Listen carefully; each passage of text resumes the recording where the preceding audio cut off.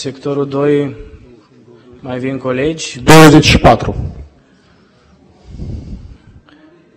Sectorul 3, vă rog frumos. Sectorul 3, 17.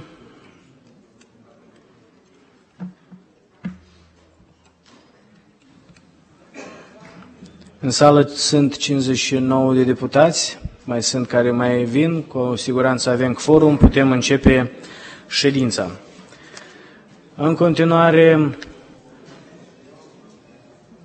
o rog pe doamna Buliga, președinta Comisiei pentru Politică Externă și Integrare Europeană, să ne prezinte raportul pentru lectura a doua la proiectul înregistrat cu numărul 2 pe ordine de zi, înregistrat cu numărul 311 din 25 august 2015, proiect de lege privind aplicarea măsurilor restrictive internaționale. Poftiți, doamnă.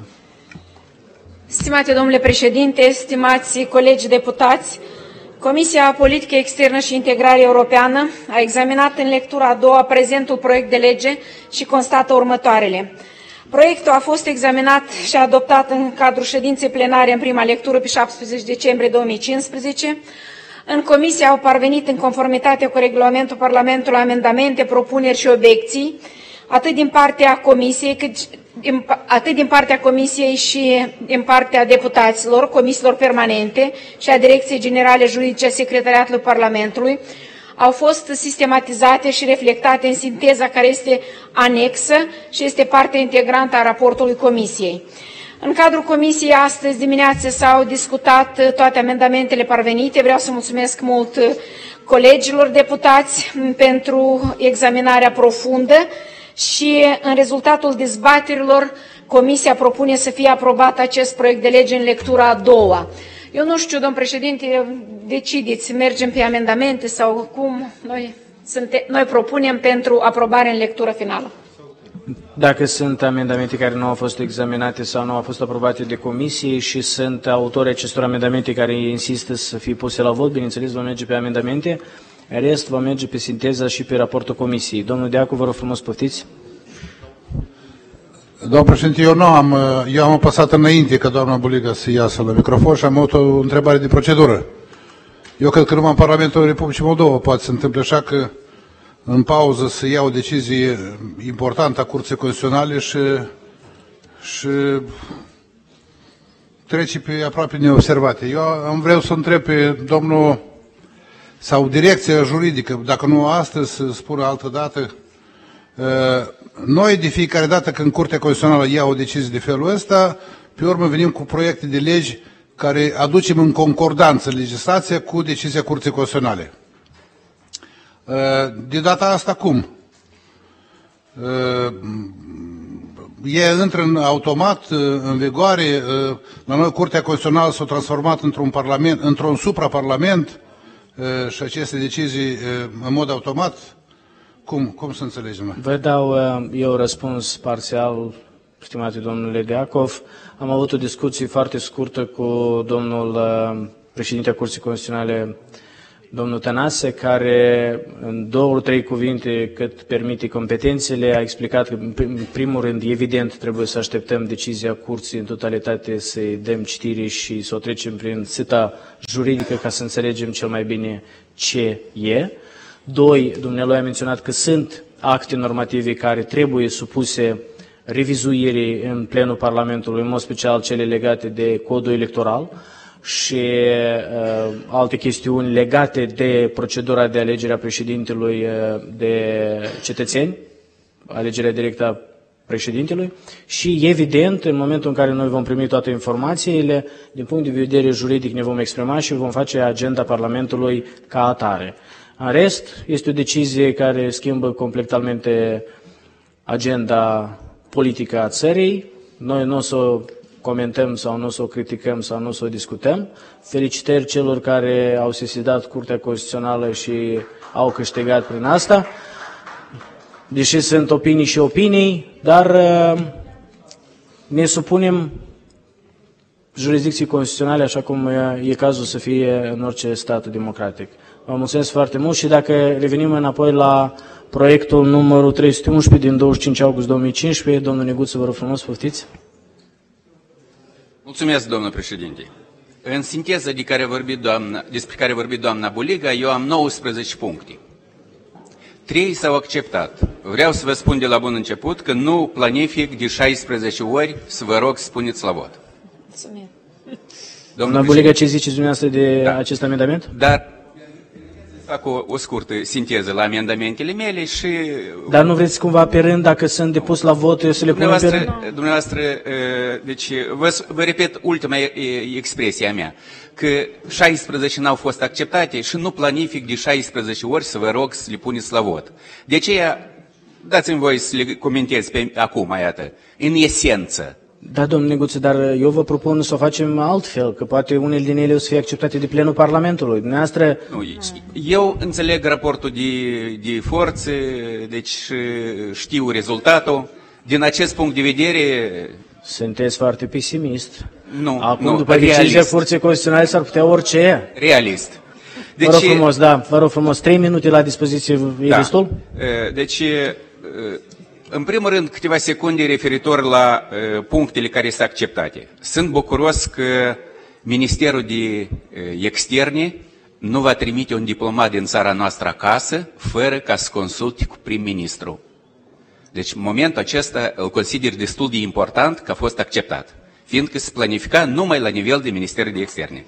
Al doilea punct, vreau să vorbesc despre punctul meu 62 și punctul 61 al domnului Creangă, de asemenea, se planifica, autorii planificau ca deciziile privind anularea vizitei delegațiilor oficiale și participarea la evenimentele internaționale să nu fie publicate în monitorul oficial. Este o schimbare de atitudine, deja e altfel și de asemenea consider că e corect. Sunt unele momente care depind, doamna președintă, de dorință, de atitudine politică, de toate momentele. Dar sunt unele care, cum am vorbit și astăzi la comisie, de exemplu, dacă articolul 9, aliniatul 1 a Convenției de la Viena stipulează și utilizează expresia nu că persoana, diplomatul, nu este acceptabil, de ce noi trebuie să inventăm alte, atât, domnul Gimpu m-a ascultat atent, fiindcă știe că la comisie tot de asemenea am discutat. De ce noi trebuie în Republica Moldova să utilizăm expresia indezirabil? Eu știu ce mi-ați răspuns dumneavoastră, ce mi-ați răspuns nu, ceilalți, eu. că noi deja avem două legi unde am folosit, unde am utilizat expresia indezirabil. Deci logica, dați să facem și într-a treia lege așa cum, nu cum trebuie, decât să ne întoarcem la Convenția de la Viena.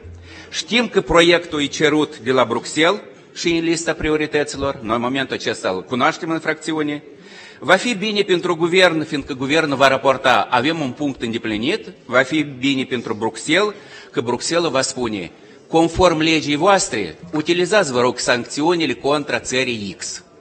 De aceea, înțeleg real, nu pesimist, domnul președinte, înțeleg real noi vom lucra cu legea în monitorul oficial Republicii Moldova, când va fi publicată, însă considerăm că noi astăzi nu procedăm corect. Termin cu aceea ce se află în punctul întâi. Legea trebuie pentru Bruxelles, dar legea nu trebuie pentru sancțiunile pe care le ia Consiliul de Securitate cum a lucrat reprezentanța noastră la ONU până în prezent în legătură cu Ministerul de Externe, tot așa va continua să activeze, să fie în legătură și după publicarea acestei legi. Dar, dacă vă trebuie dumneavoastră, adoptați-o dumneavoastră. Fracțiunea noastră este împotriva acestei legi. Vă mulțumesc, am luat cuvântul din partea la 19 puncte a mele care se află în sinteză.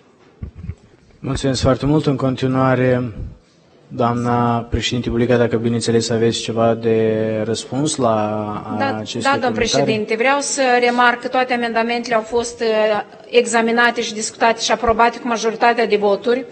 Legea nu îi trebuiește Bruxelului, dar are nevoie Republica Moldova pentru crearea cadrului legislativ intern pentru punerea în aplicare de către țara noastră a tuturor sancțiunilor internaționale instituite prin documentele pe care noi le-am ratificat și acceptat, inclusiv cu mulți ani în urmă.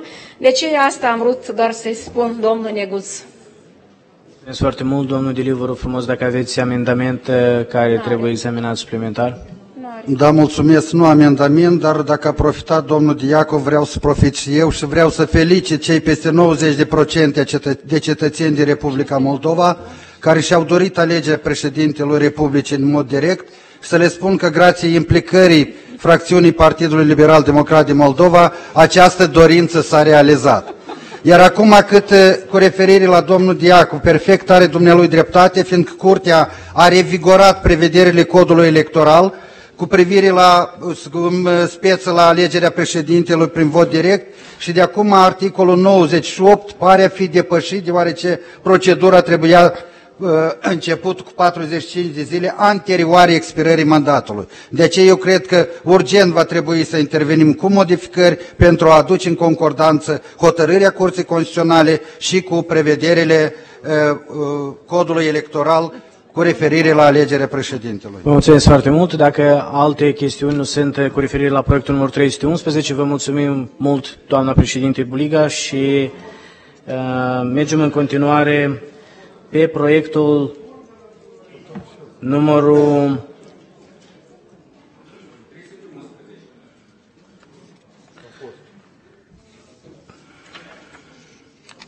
Proiectul numărul 402, numărul 7 de pe ordinea de zi, proiectul 402 din 22 octombrie 2015, proiect de lege pentru modificarea legii privind pensiile de asigurări sociale de stat. Uh, cer scuze, da, e lectura a doua. Vă rog frumos, doamnă Domente, președintea Comisiei Protecție Social, Sănătate și Familie, prezentați, vă rog frumos, uh, raportul pentru lectura a doua. Stimate președinte, stimați colegi, vă prezint atenție dumneavoastră raport asupra proiectului de lege privind uh, modificarea legii 156 privind pensiile de asigurări sociale. Lectura a doua. Comisia noastră, Protecție Socială, Sănătate și Familie, a examinat proiectul de lege privind pensiile de asigurări sociale de stat 156 în lectura a doua. În scopul uniformizării noțiunilor utilizate în textul legii, membrii comisiei, de comun acord cu autorii proiectului, au propus o nouă redacție a articolului 52 alineatul 5, care sună după cum urmează. În cazul în care nu este posibilă prezentarea certificatului cu privire la venitul asigurat, deoarece documentele nu s-au păstrat din cauza calamităților naturale sau altor situații excepționale, cuantumul pensiei va fi calculat în modul stabilit de guvern. Urmarea dezbaterilor și a votării pe marginea proiectului, Comisia Protecției Sociale, Sănătate și Familie, cu votul unanim al membrilor prezenți în ședință, propune proiectul de lege numărul 402 din 22 a 10 2015 spre examinare și o adoptare în ședința în plenă a Parlamentului în lectura a doua. Mulțumesc foarte mult dacă nu sunt întrebări pe marginea acestui proiect, dacă nu au fost făcute amendamente. Domnul Cobzac, vă rog frumos poftiți. Scuze, eu n-am avut amendamente, eu... Vă mulțumesc. O precizare, vă rog frumos, un minut. Autor, este, proiectul exclude posibilitatea ca cei care au venitul acumulat pe, de, din stagiu, ei artificial sau la inițiativa lor să falsifice documentele ca să vină la acel minim de pensie garantat de guvern. Eu nu prea am înțeles întrebarea noastră, dar noi ne-am străduit să uh, formulăm astfel încât să excludem orice gen de um, abateri legislative Bine. sau să, să, să interesăm cetățenii să prezinte documente false. Mulțumesc foarte mult. Nu mai sunt alte întrebări. Vă mulțumim, doamna președinte Dominti. Următorul subiect examinat pe ordine de zi este, dacă aveți la dumneavoastră proiectul 515, Stimați proiect colegi, de lege privind modificarea articolului 18 din legea privind indemnizațiile pentru capacitate temporară de muncă și alte prestații de asigurare socială, proiectul numărul 10 pe ordine de zi, proiectul numărul de registrare 515 din 28 decembrie 2015. Poftiți. Doamna Dămente, sunteți autorul acesteia. Mulțumesc. Deci, în calitate de autor, vă prezint uh, proiectul de lege privind modificarea legii privind uh, indemnizațiile pentru incapacitate temporară de muncă și alte prestații de asigurări sociale. Un proiect similar deja s-a prezentat astăzi, uh, autor fiind guvernul. Deci, proiectul de lege este elaborat pentru a exclude anumite probleme legislative care astăzi uh, sunt și pentru a aduce în concordanță această lege cu prevederile legii uh, bugetul asigurărilor sociale pentru anul 2015. Deci în procesul de rectificare a bugetului de asigurări sociale, uh, noi, membrii comisiei, am identificat anumite resurse financiare care am văzut că nu vor fi valorificate până la sfârșitul anului și a fost înaintată propunerea ca indemnizația pentru îngrijirea copilului Uh, plafonul minim acestea, să-l sporim cu 10%, era absolut posibil pentru costurile nu erau prea mari, dar uh, vă amintiți că atunci guvernul nu funcționa și nu era posibil să facem corecții în legea de bază privind uh, indemnizațiile pentru incapacitate temporară de muncă. Am găsit o soluție atunci să facem această, acest amendament, să-l înscriem chiar în proiectul legii bugetul asigurărilor sociale, să prevedem acest cuantum majorat.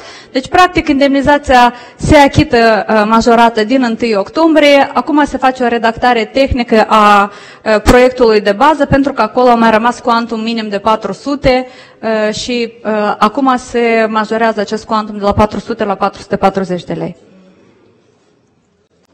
Dacă aveți întrebări. Dacă sunt întrebări la autor, vă rog frumos, domnul Niguț, poftiți. Mulțumesc. Timp cât ați lipsit dumneavoastră, domnul Deliu s-a interesat. De ce a apărut întâi proiectul dumneavoastră? Și după aceea, la aceeași normă juridică, a fost necesar, deci și-a apărut proiectul guvernului. Care e tălmăcirea dumneavoastră? Eu nu pot explica lucrul ăsta, probabil, nu știu, trebuie să întrebați guvernul care a fost uh, intenția lor, pentru că până la urmă, probabil că în mod cronologic trebuia să fie examinate aceste proiecte. Uh, eu nu exclud faptul că și proiectul și guvernul a venit paralel cu modificare, pentru că chiar e vorba de o modificare tehnică care trebuia de, de ajustat uh, proiectul bugetului.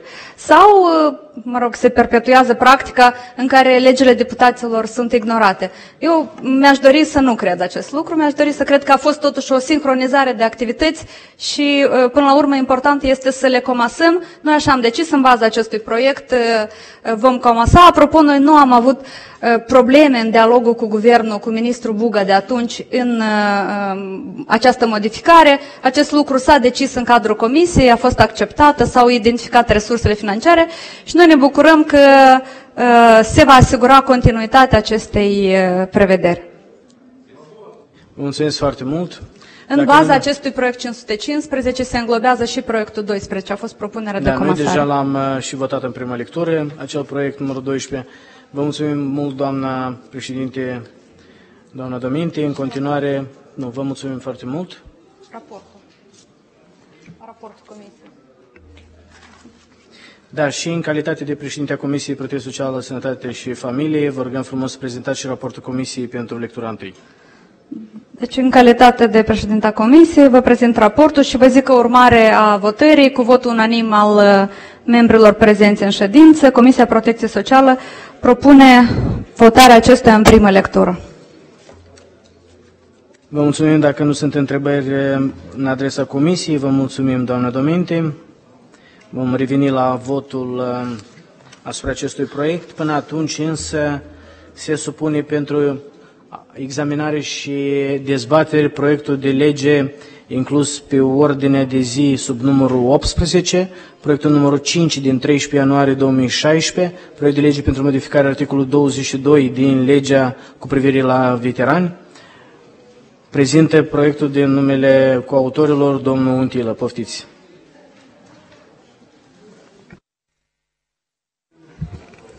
Domnule președinte, stimați colegi, luând în, noi astăzi atragem atenția dumneavoastră la un proiect de lege, proiect de lege pentru modificarea articolului 22, legea numărul 190 din anul 2003. Scopul acestui proiect este stabilirea alocației de 500 de lei rudelor de gradul 1 a persoanelor decorate post-mortem.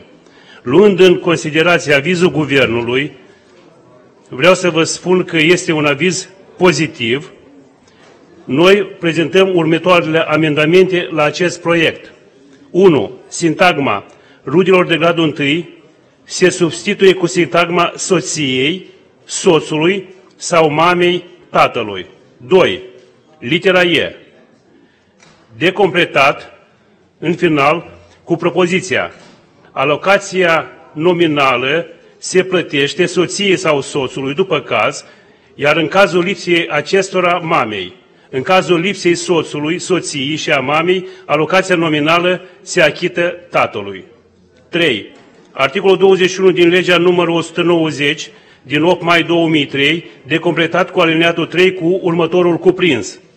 Au dreptul la alocație nominală soția, soțul sau mama, tatăl, persoanelor decorate post-mortem cu Ordinul Republicii și Ordinul Ștefan cel Mare.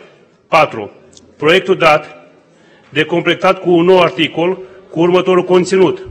Guvernul, în termen de 30 de zile, va duce actele sale normative în concordanță cu prezenta lege. Stimați colegi, adoptarea acestui proiect va duce un omagiu celor care au căzut pentru apărarea integrității și independenței Republicii Moldova și vă rog să fie susținut. Mulțumesc!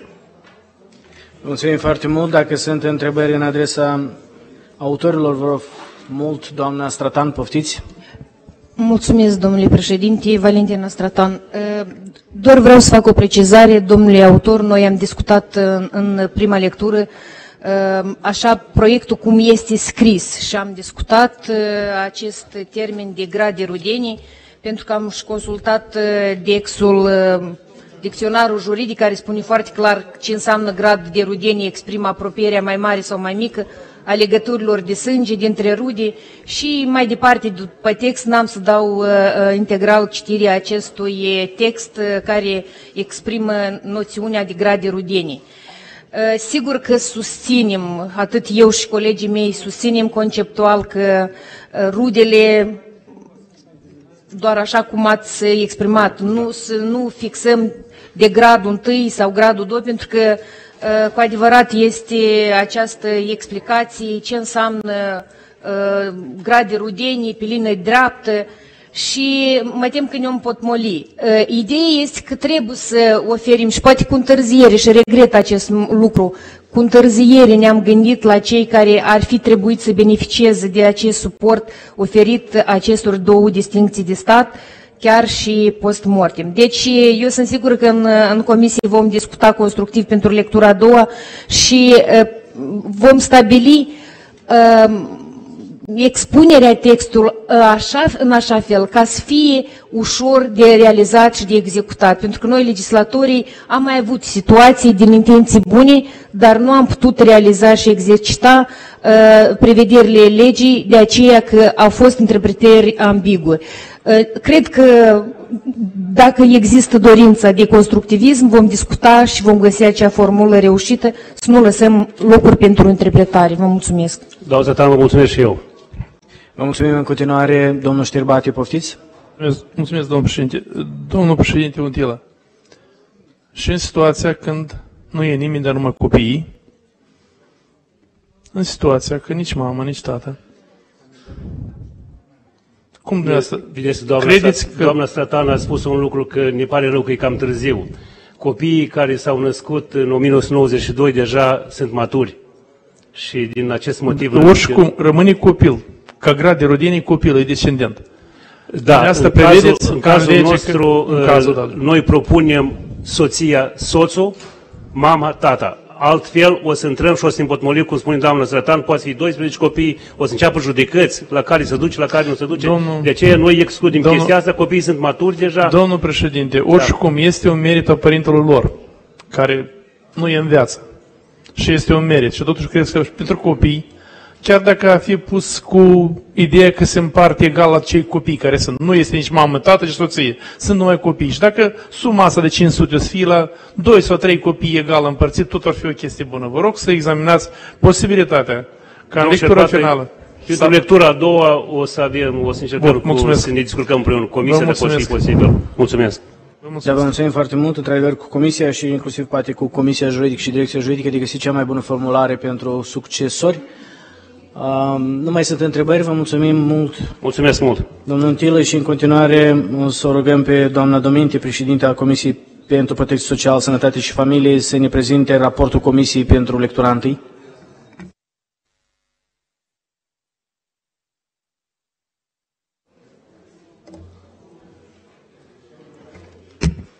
Comisia raportoare a examinat proiectul de lege privind modificarea articolului 22 din legea cu privire la veterani, grup de uh, titlu inițiat cu titlul de inițiativă legislativă de către un grup de deputați în Parlament și constată următoarele. Proiectul de lege are ca obiect de reglementare completarea articolului 22 din legea numărul 180 din 8 mai 2003 cu privire la veterani și are drept obiectiv stabilirea dreptului la alocații lunare nominale de stat rudelor de gradul 1 pentru persoanele care au fost decorate post-mortem cu ordinele Republicii și Ștefan cel Mare. Implementarea proiectului de lege necesită și cheltuieli financiare suplimentare în sumă de circa 804.000 de lei anual.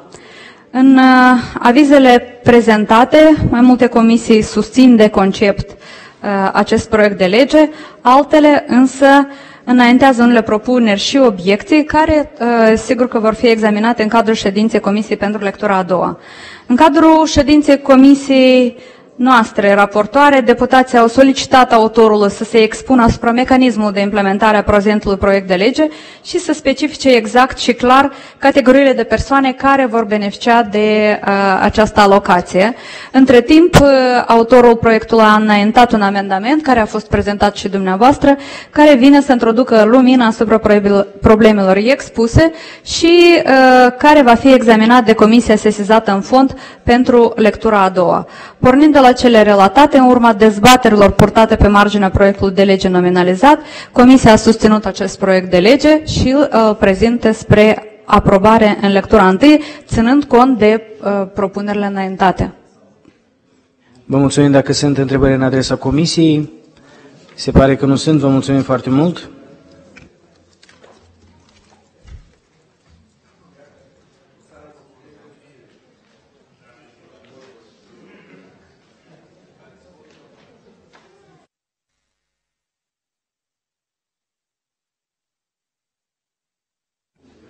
În continuare se propune pentru examinare și dezbatere proiectul de hotărâre cu privire la aprobarea bugetului Agenției Naționale pentru Reglementare Energetică pe anul 2016, numărul 37 din 17 februarie 2016. Îl rog la tribuna principală, îl invit pe domnul Creangă, unul dintre coautori, poftiți.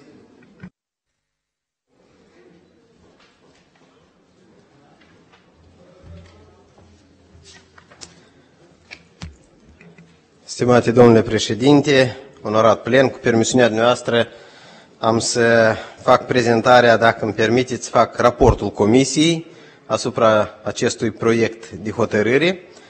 Proiectul de hotărâre a fost primit de către fiecare din noastră. Doar în calitate de autor am formalizat sub semnătură acest proiect de hotărâre și uh, vreau să menționez următoarele proiect de hotărâre pentru aprobarea bugetului Agenției Naționale pentru Reglementarea Energetică pentru anul 2016 prevede venituri și respectiv cheltuieli în sumă de 38.620.000 lei. Pentru realizarea veniturilor respective, în proiectul de hotărâre se prevede stabilirea mărimii plății regulatorii la nivel de 0,12%. Astfel, Comisia a constatat că bugetul Agenției Naționale pentru Reglementare Energetică pentru anul 2015 a fost aprobat la finele anului 2015 prin hotărârea Parlamentului 189 din 5 noiembrie 2015, în vigoare din 20 noiembrie 2015. Fapt care a determinat neexercitarea unor acțiuni pe parcursul anului respectiv, ceea ce a generat acumularea la situația de 1 ianuarie 2016 a mijloace financiare neutilizate de 8 milioane 208.000,8 în conformitate cu alineatul 3, articolul 4 cu indici 3 din legea curilor energetică, num, legea numărul 1525 din 98, mijloacele financiare neutilizate de către agenție în exercițiu financiar curent se transferă la bugetul anului următor.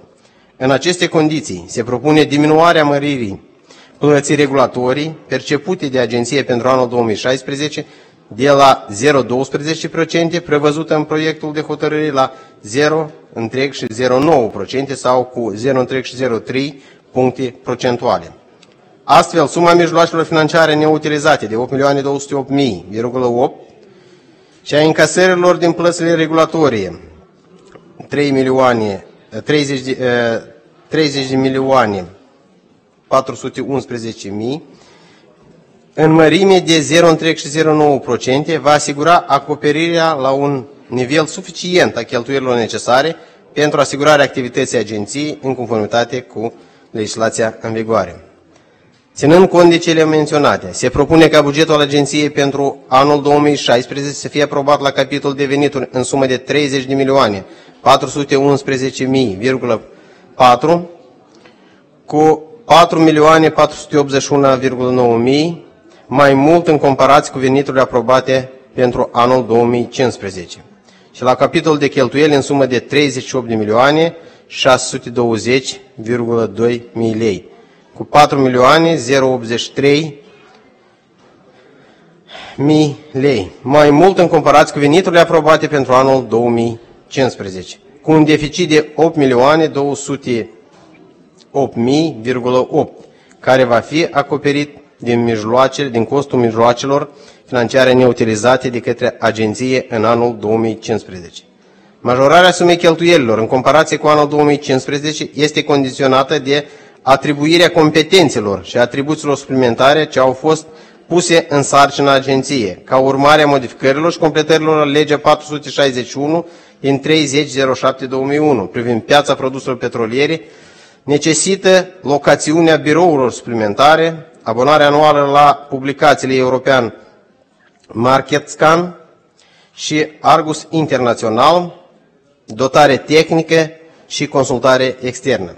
De asemenea, existența aceasta crește, de, această creștere este determinată de existența restanțelor în anul 2015 la capitol elaborare și implementare a serviciilor e-licențiere, e-petiție, registrelor economice, studii analitice în sectoarele reglementate, cu participarea partenerilor de dezvoltare, precum și datorii, datorii pentru chiria sediului. Valoarea totală a restanțelor aproximativ de 7 întreg și 15 milioane lei. Unele din procese enumerate au fost demarate la sfârșitul anului 2015, fapt ce implică trecerea cheltuielor respective pentru anul următor de gestiune. Astfel, urmare celor menționate mai sus, următoarele componente de cheltuieli vor înregistra o creștere comparativă cu cheltuielile aprobate în anul 2014. Retribuirea muncii cu 1.438,4 lei. Contribuții la bugetul asigurării sociale de stat, cu 330,8 uh, mii lei, contribuții la bugetul asigurării obligatorii de asistență medicală, 67,7 mii lei, indemnizații pentru incapacitate temporară de muncă, achitate de mijloace financiare ale angajatorului 20 de mii lei, arenda încăpirilor și serviciilor comunale 503,2 mii lei, procurarea mijloacelor fixe 1.100.000, plata mărșilor și serviciilor 725 mii lei. În baza celor menționate mai sus, se propune următoarele modificări la proiectul de hotărâre. A se modifica după cum urmează. Articolul 1. Bugetul Agenției Naționale pentru Reglementare Energetică pe anul 2016 se aprobă la venituri de 30 milioane 411.000,4 și la cheltuieli în sumă de 38 milioane 620,2 mii lei, cu un deficit de 8 milioane 208,8 mii lei, care va fi acoperit din soldul mijloacelor acumulate în anul 2015. La articolul 2 și în textul anexei, cifra 0,12 se substituie cu, cu cifra 0,09%. Proiectul de hotărâre se completează cu un articol, după cum urmează. Prezenta hotărâre intră în vigoare începând cu 1 ianuarie 2016. Ținând cont de cele menționate mai sus, Comisia cu votul majorității membrilor săi propune Parlamentul spre examinare și adoptarea proiectului de hotărâre a Parlamentului pentru aprobarea bugetului Agenției Naționale pentru Reglementare Energetică pe anul 2016. Vă mulțumesc! Vă mulțumim în continuare. Dacă sunt întrebări în adresa autorului, vă rog frumos, domnul Bolea, poftiți. Da, uh, Bolea, fracțiunea socialiștilor. Spuneți, vă rog, uh, în proiect este indicat că uh, salariul directorilor agenției este în anul 2016 nu va depăși 4, dacă nu greșesc, da? Patru salarii, salarii da, da, medii exact. pe uh, agenție. Eu să înțeleg că nu va depăși 60.000 de lei. Aproximativ. Nu, nu este adevărat 60.000 de lei. Păi Salariul e... mediu pe agenție... Anul trecut era 15.000 de lei. Dumneavoastră, chiar de la tribuna Parlamentului, a spus despre asta. No, Dacă vorbim despre patru salarii, înseamnă că nu va depăși 60.000 de lei. Eu am depus un amendament și rog să fie chiar votat patru salarii medii să-l diminuăm la un salariu mediu pe agenție. Este un salariu care de două ori depășește salariul unui deputat și de 1,5 ori salariul președintelor Republicii Moldova. Eu cred că pentru acești domni este suficient pentru ca ei să-și ducă un trai decent. Prima. Și a doilea amendament eu am uh, indicat că uh, în proiectul hotărârii este indicat că uh, salariul acelor 5 directori ANRE nu va depăși uh, 4 salarii medii pe uh, agenții. Noi avem uh, la moment 4 directori ANRE, nu avem directorul general, care nu a fost uh, uh, numit de către uh, Parlament și eu văd uh, logic ca noi să indicăm pe cei 4 directori ANRE-ului care vor primi salariul nu mai mare decât 1, un salariu mediu pe uh, agenții. Și rog să fie pusă la vot. Mulțumesc de întrebare, domnul deputat. Într-adevăr, dumneavoastră ați înaintat uh, aceste amendamente. Cu părere de rău, Comisia nu le-a examinat, deoarece a venit mai târziu decât raportul Comisiei efectuate. Noi muncim, domnul Bolea, noi muncim, pur și simplu. Întrebarea este... Într-un ritm mai rapid. Întrebarea este Uh, aceste amendamente Vreau să menționez că d- anul trecut am dezbătut aceeași problemă, adică nu cred că s-a schimbat uh, poziția comisiei, dacă chiar și examinam să trecem de la patru salarii la un salariu, uh, și atunci și acum rămân pe poziție și consider că salariul uh, unui uh, m, director, cum este Agenția pentru Reglementare Energetică, care are o atribuție de reglementare a tarifelor, trebuie să fie un salariu destul de competitiv. În raport cu piața privată. De aceea eu rămân pe poziția mea personală că uh, salariul trebuie să rămână așa cum a fost anul trecut. Pentru a doilea amendament, ce ați menționat că nu 5 directori, dar 4. După cum cunoaștem, bugetul se aprobă, bugetul se aprobă pe, an, pe un an întreg și dacă vom numi, eu nu exclud poate într-o lună, două, un director general, atunci urmează să facem proiect de hotărâre de modificare a bugetului și cred că nu, sub aspect de tehnică legislativă, nu este corect, pentru că legea privind la energetică prevede, legea privind la, legea privind la energetică prevede exact că ANREU are 5 directori. Asta uh, pentru informare către onoratul plen, ca să, uh, când va fi pus la vot, să cunoaștem. Da, vă mulțumesc foarte mult. Dacă amendamentul a fost uh, făcut, nu a fost examinat în comisie, evident dacă insistați, el se va pune la vot.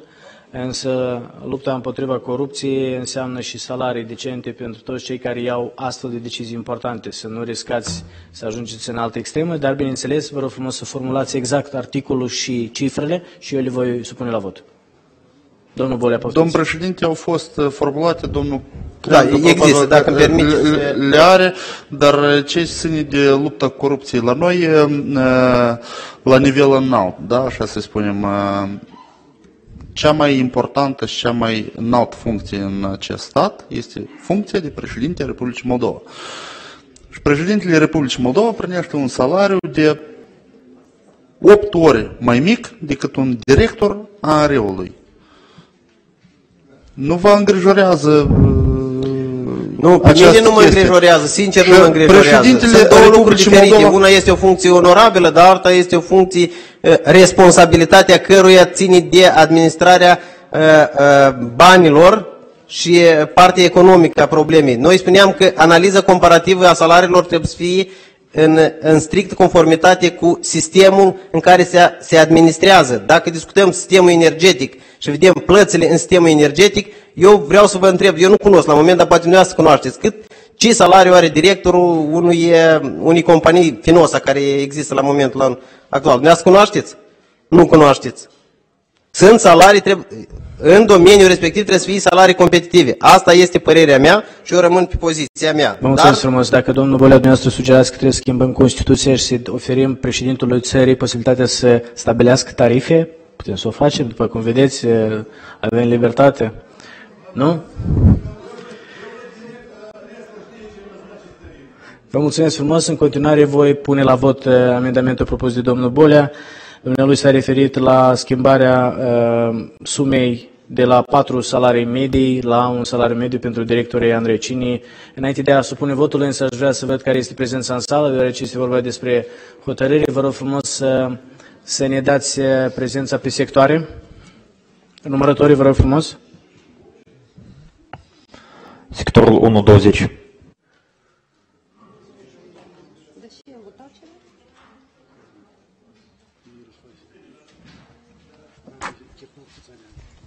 Sectorul 2, 31. 18, sectorul 3.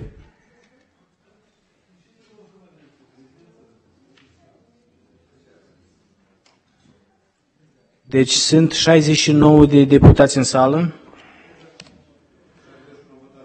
35 e majoritatea celor prezenți în sală. Voi supune votul amendamentul formulat de domnul Bolea ce ține de schimbarea cifrei de la 4 salarii medii la un salariu mediu. Cine este pentru, vreau frumos să vă exprimați prin vot. Vă rog frumos, de fapt, haideți totuși să numărăm voturile. Vă rog frumos. Sectorul 1, 17. Sectorul 1 cât? 10. Sectorul 1, 17, mai departe. Sectorul 2, 10. Sectorul 2? 10. Sectorul 3? 4. 31. Cu 31 de voturi, amendamentul nu a fost acceptat de plenul Parlamentului. Vă rog frumos următorul amendament propus de domnul Bolea, domnul Creangă, dacă ați putea să-l formulați. De fapt, dați-mi voi, era vorba despre schimbarea de la 4 directori, din 5 directori în 4 directori. Da. Cine este pentru acceptarea acestui amendament, vă rog frumos să vă exprimați prin vot. Vă rog frumos să... Dar nu-i corect. În lege sunt 5 directori, domnul Bolea, dar dacă am ajuns și așa chestiune să pun la vot, îmi pare foarte rău, dar o punem. Vă rog frumos uh, răspunsul, uh, răspuns, rezultatul pe sectoare, vă rog frumos. Sectorul 1, 17. Sectorul 2, vă rog frumos. Sectorul 2, 4. 0. 21 de voturi, amendamentul nu a fost acceptat. Vă mulțumesc foarte mult. În continuare, domnul Diliu, poftiți. Da, mulțumesc. Am și eu două întrebări. Prima întrebare, domn președinte, se referă la articolul 3 din hotărâre. În perioada de execuție a bugetului, Agenția Națională pentru Reglementare Energetică are dreptul să opereze modificări în structura cheltuielilor în limita bugetului aprobat de, prin prezenta hotărâre. Nu o să permită ast- aceasta ca angajații directorii să-și ia premii, fie de ziua, că am mai avut așa cazuri, ziua conducătorului auto, ziua vânătorului, sosirea primăverii și așa mai departe. De ce eu aș propune aici un amendament cu excepția capitolului retribuirea muncii. Deci pot să opereze cheltuieli, dar nu la capitolul ce se referă la retribuirea muncii. Asta o întrebare. Și a doua întrebare. Poate ne lămuriți de ce la sinteza cheltuielilor în cheltuieli capitale au fost programate 3 milioane 201 mii lei, dacă anul trecut din 1 milion nu s-au cheltuit doar 52 întreg 7 mii. Planifică să construiască ceva sau ce? De ce tocmai 3 milioane la acest capitol? Uh, mulțumesc de întrebare. Uh, într-adevăr, eu am la începutul de prezentării proiectului spuneam despre faptul că pentru 2015 bugetul a fost aprobat în ultima sută de metri și acele cheltuieli de 3 milioane nu s-a reușit, s-a reușit doar numai 50 de mii care ați menționat dumneavoastră de cheltuieri. Pentru anul 2016, de ce 3 milioane? După cum cunoașteți, noi aici cu dumneavoastră, cu toții, am votat modificarea la legea produselor petroliere, unde am obligat ANREU să se uh, aboneze la Argus și așa zis, piața internațională, bursa internațională, uh, acuș, acuș vă spun exact cum se numește. Oh, doamne. Platz, da. Uh, Argus Internațional și European Market Scan.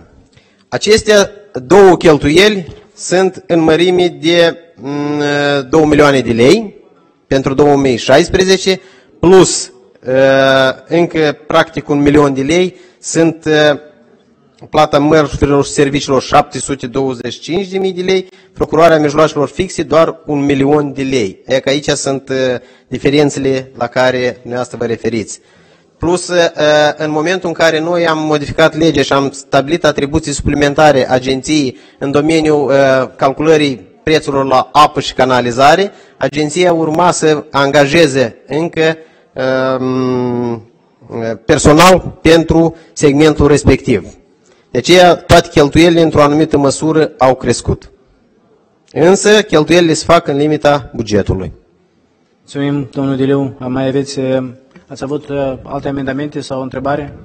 Da, cu prima. Referitor la prima, uh, temerea că dacă nu vor face anumite modificări, orice modificare în limita bugetului, eu cred că poate fi admisă. Dacă dumneavoastră credeți că ar exista temeri, că ar folosi banii în scopuri de salarizare, eu cred că se merită de pus această normă aici, dar totodată vreau să vă asigur că nu pot fi efectuate astfel de modificări, deoarece salarizarea este articol aparte care este arătat cât vor putea cheltui din salarizare, pe articolul salarizare. Dar să fim mai siguri, domnul președinte, puteți pune la vot și se poate de susținut. Ce anume se pun la vot, dacă ați putea să formulați?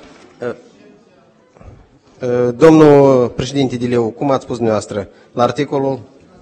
Conect, da. Deci eu am propus ca la articolul 3, care prevede că Agenția Națională pentru Reglementare în Energetică are dreptul să opereze modificări în structura cheltuielilor în limita bugetului aprobat prin, prin prezenta hotărârii, să completăm cu sintagma, cu excepția capitolului retribuirea muncii, deoarece am zis că ne, noi cunoaștem foarte bine că în foarte multe instituții din Republica Moldova care sunt întreținute din bugetul de stat și au alocat premii cu diferite ocazii și diferite sărbători și numai nu știu ce. De aceea eu aș dori, ca, adică cer ca această modificare să fie acceptată și contribuțiile sau retribuirea muncii să fie un articol sfânt, să zic așa, unde banii prevăzuți în buget să fie doar cei care o să-i aprobăm noi astăzi și să nu opereze mai apoi modificări la acest capitol. Vă mulțumim frumos, amendamentul este clar, voi supune votului ceea ce a, menționat, a formulat domnul Deliu, ca excepție să nu existe posibilitatea să fie modificat tot ce înseamnă fondul de salarizare. Cine este pentru, vă rog frumos să uh, vă exprimați prin vot majoritatea, de fapt, unanimitatea celor prezenți în sală, amendamentul domnului Deliu este acceptat. În continuare, dacă am putea mai operativ, domnul Cobzac, poftiți? Da, vă mulțumesc, domnule președinte. Eu, întrebarea mea ține iarăși de salarizare, de retribuire muncii. Ca și fir roșu prin tot proiectul de lege este principiul că salarizarea în 2016, retribuirea muncii, nu va fi mai mare fondul decât 2015. Analizez sinteza cheltuielilor, unde este aprobat pentru 2015 21 de milioane 611, executat pe 11 luni 14 milioane.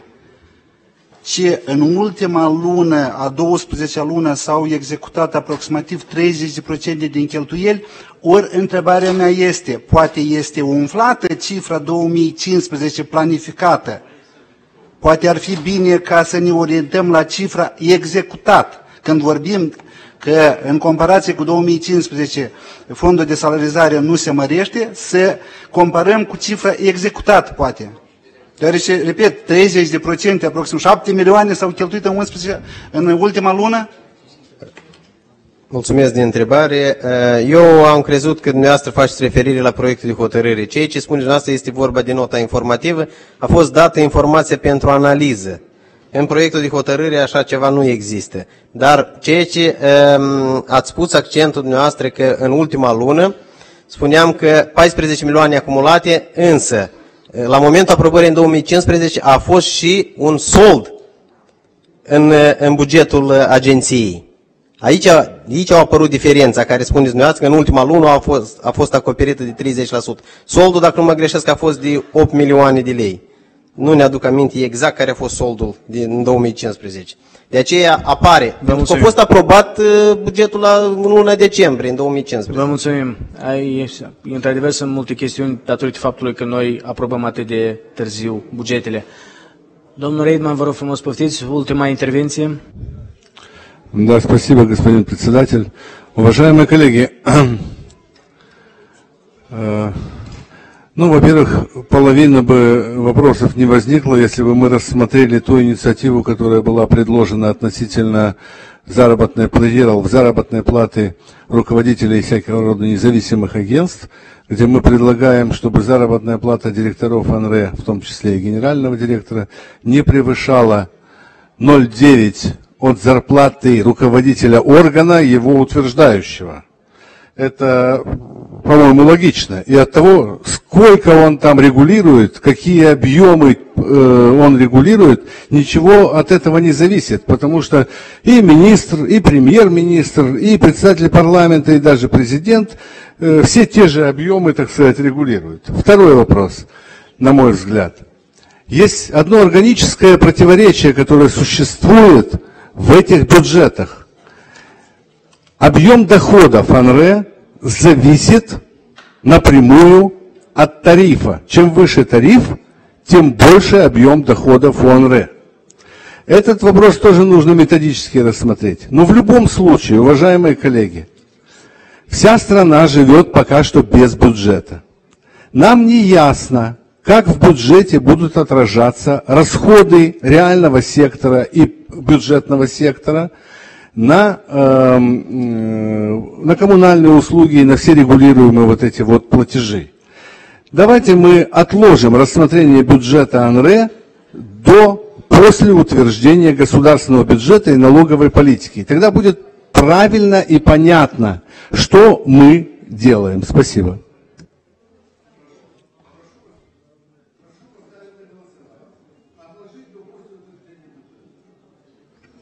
Vă rog frumos. Da, mulțumesc, domnul președinte. Stimate domnule deputat, dumneavoastră cunoașteți exact că noi nu putem să amânăm acest proiect de hotărâre și deoarece nu are nicio legătură ceea ce dumneavoastră ați menționat cu bugetul agenției, cu volumul sumelor acumulate. Noi am, în cadrul comisiei, am stabilit că proiectul a fost stabilit de 0 întreg și 12, Comisia a propus 0,9 a diminuat această taxă pentru, a, pentru acumulare la bugetul agenției. Totodată, eu sunt nu, nu, nu chiar ajunge 0,3, domnul Redman. Neastră știți exact că a fost 0,11, 0,12 pe timp și acum 6 ani în urmă exact a fost aceeași. Mulțumesc. Vă mulțumim, nu mai sunt uh, intervenții, nu mai sunt întrebări. Vă mulțumim frumos, domnul Crangă. Vă rugăm, vă mulțumim frumos pentru... Dar ați uh, stat puțin, ați, uh, ați raportat și din numele comisiei? Da, vă mulțumim frumos. Domnul Reidman, eu am să pun proiectul la vot. Dacă o să fie votat, amânarea nici nu mai are lor. Nu mai are rost.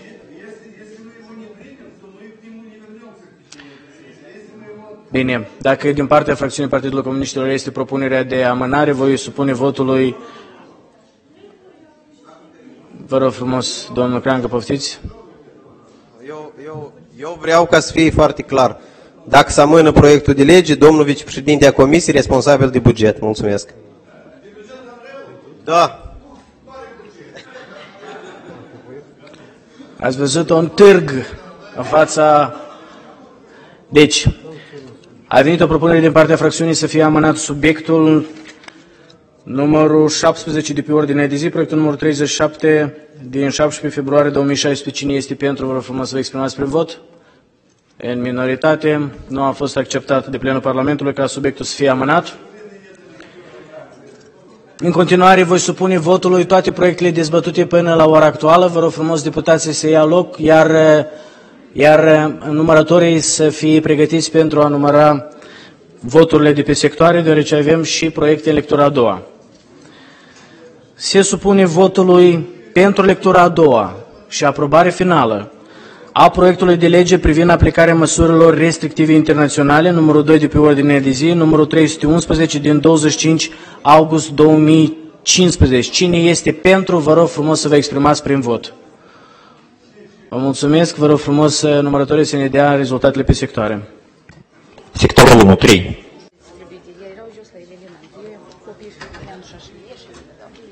Sectorul 2, 33.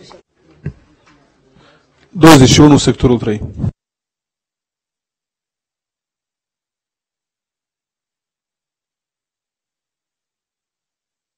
Cu 57 de voturi, proiectul de lege privind aplicarea măsurilor restrictive internaționale, numărul 311 din 25 august 2015, a fost votat în lectura a doua și aprobat în lectură finală. Vă mulțumesc. În continuare, voi supune votului pentru lectura a doua, iarăși, Proiectul numărul 7 de pe ordine de zi, proiect de lege pentru modificarea legii privind pensiile de asigurări sociale de stat, proiectul numărul 402 din 22 octombrie 2015. Cine este pentru aprobarea acestei lecturi a doua? Vă rog frumos să vă exprimați prin vot. Numărătorii să ne dea rezultatele pe sectoare. Sectorul 1, 21.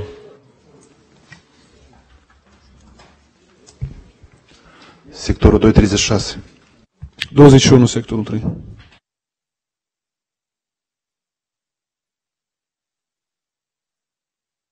Cu 78 de voturi, proiectul de lege numărul 402 din 22 octombrie 2015, ce se referă la modificarea legii privind pensiile de asigurări sociale de stat, a fost votat în lectura a doua și ultima. În continuare se supune votului pentru prima lectură proiectul de lege numărul 10 de pe ordine de zi, numărul 515 din 28 decembrie 2015, proiect de lege privind modificarea articolului 18 din legea privind indemnizațiile pentru incapacitate temporară de muncă și alte prestații de asigurări sociale. Cine este pentru aprobarea acestuia în prima lectură? Vă rog frumos să vă exprimați prin vot. Unanim. Proiectul de lege a fost aprobat. Numărul 515 din 28 decembrie 2015. Proiectul numărul 10 de pe ordinea de zi a fost aprobat în prima lectură. În continuare se supune votului aprobarea proiectului numărul 17 de pe ordine de zi, proiectul numărul 37 din 17 februarie 2016, ce se referă la aprobarea bugetului Agenției Naționale pentru Reglementare Energetică pe anul 2016. Este proiect de hotărâre. Cine este pentru aprobarea acestuia, vă rog frumos să vă exprimați prin vot.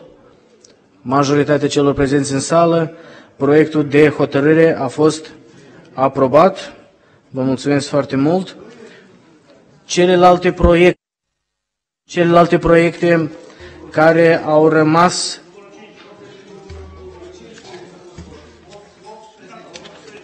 Vă mulțumesc frumos pentru că mi-ați uh, adus aminte, într-adevăr, un proiect de lege pentru la fel lectura întâi, proiect de lege pentru modificarea articolului 22 din legea cu privire la veterani, proiectul numărul 5 din 13 ianuarie 2016.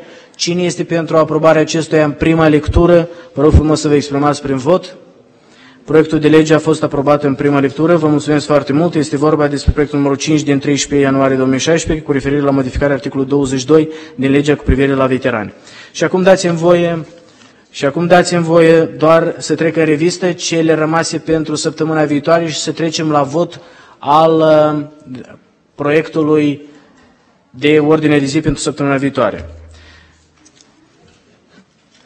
Deci pentru săptămâna viitoare rămân a fi dezbătute. Proiectul numărul 13 de pe ordine de zi, proiectul numărul 4 din 11 ianuarie 2016, proiectul numărul 15 de pe ordine de zi, proiectul numărul 132 din 6 aprilie 2015, proiectul numărul 3, 19 de pe ordine de zi, proiectul numărul 35 din 16 februarie 2016 și încă două proiecte, proiectul numărul 317 din 4 septembrie 2015, numărul 20 pe ordine de zi și 433 din 3 noiembrie 2015, numărul 21 de pe ordinea de zi. Ele sunt transferate pe săptămâna viitoare și am nevoie de votul vostru pentru transfer. Cine este pentru ca aceste proiecte să fie transferate pentru următoarea săptămână? Vă rog frumos să vă exprimați prin vot. Vă mulțumesc foarte mult. Și în continuare a fost repartizat proiectul ordinii de zi pentru celelalte două zile de săptămâna viitoare, 10 martie și 11 martie este propunerea biroului permanent. Bineînțeles, regulamentar mai putem reveni joi săptămâna viitoare, însă până atunci cine este pentru aprobarea ordinii de zi în forma și propunerea făcută de birou permanent, vă rog frumos să vă exprimați prin vot. Vă mulțumesc foarte mult. Ordinea de zi a fost votată și pentru săptămâna viitoare. Și în continuare, dragi colegi, nu e sfârșitul. Nu e sfârșitul, mai avem un eveniment foarte frumos.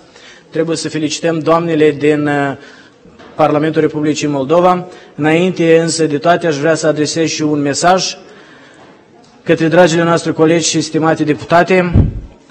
Marța viitoare este ziua în care sunteți sărbătorite, Ziua Internațională a Femeii, 8 martie.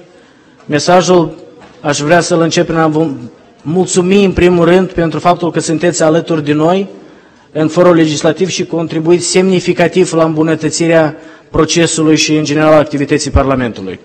Voi sunteți cei care ne ajutați adesea să depășim anumite situații mai complicate, iar pentru virtutea, răbdarea, curajul și profesionalismul ce vă sunt caracteristice, vă respectăm și vă apreciem. Vă dorim, la fel ca și tuturor femeilor din toată țara, să fie venerate și răsplătite pentru rolul important pe care îl au de a prelungi viața pe pământ. Voi sunteți cea mai importantă creație a lui Dumnezeu, iar acest lucru îl demonstrați zi de zi. Ori anume, voi asigurați armonia și iubirea în familiile noastre. Vă dorim sănătate, fericire și să fiți iubite. Vă mulțumim! Declar ședința de astăzi închisă și ne revedem săptămâna viitoare pe data de 10 martie. Vă mulțumesc frumos!